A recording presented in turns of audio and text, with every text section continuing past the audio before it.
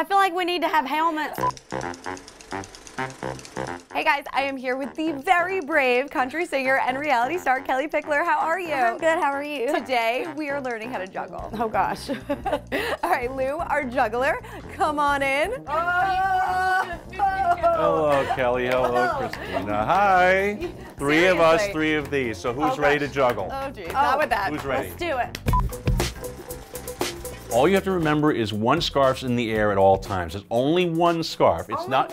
Yes, it's not all this. Ah! No, no, no. It's not. No, no. Right, left, right, left. Okay, three catches, three throws, three throws, three catches. Only lost one. Okay, all right, now.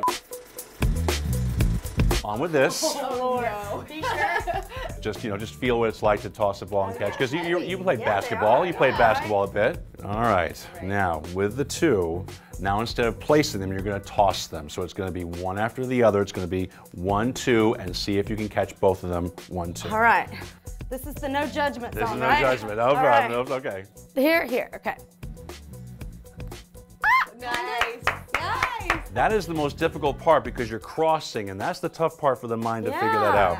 I You feel really like my want to try arms three? are gonna get tangled. Do you want to try three? Why not? Let's Might just as do well. it. Gonna be hard. Okay, I'm shining. Um, this one, that. Okay.